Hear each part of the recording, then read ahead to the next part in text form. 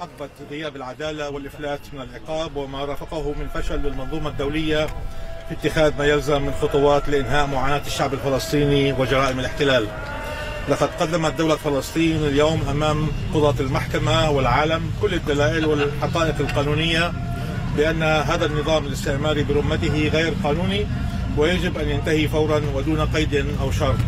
ونحن على قناعة بأن المحكمة لن تحيد عن السوابق والممارسات السابقة القانونية ومخرجاتها السابقة وستعتمد على حججنا القانونية الشاملة والمقنعة وسنشهد وإياكم مخرجات تاريخية.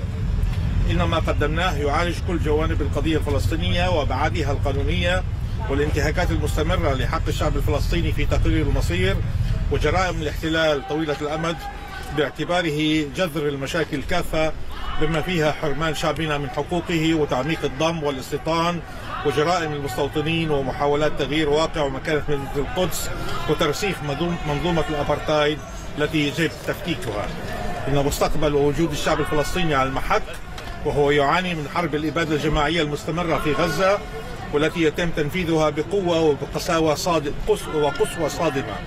وعلى المجتمع الدولي أن يتحمل مسؤولياته ويجب ألا يسمح لإسرائيل بمواصلة احتلالها وخططها غير المشروعة لإنهاء الوجود الفلسطيني.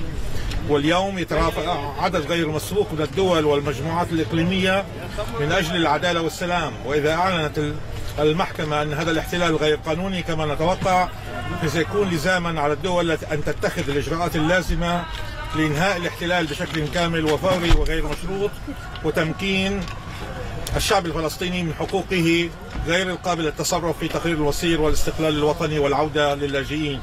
العدالة يجب أن تسود. وسنعمل بلا كلل لتحقيق ذلك. أننا على قناعة أن دولة فلسطين وشعبها ليس وحدهما في هذه المسيرة من أجل العدالة. والإجراءات في محكمة العدل الدولية التي بدأت اليوم تظهر بذلك بوضوح. ولا يوجد أي مبرر أو عذر لاستمرار الاستعمار والفصل العنصري والاضطهاد الإسرائيلي للشعب الفلسطيني. إنهم يهددون وينتهكون إنسانيتنا المشتركة وعلينا أن نوقفهم.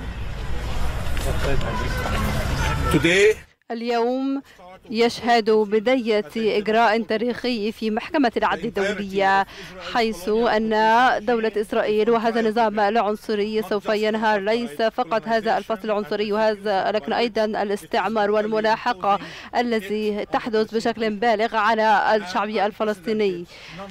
عدد غير مسبوق من الدول تشارك في هذه المحاكمات تصمد مع الحق والعدل.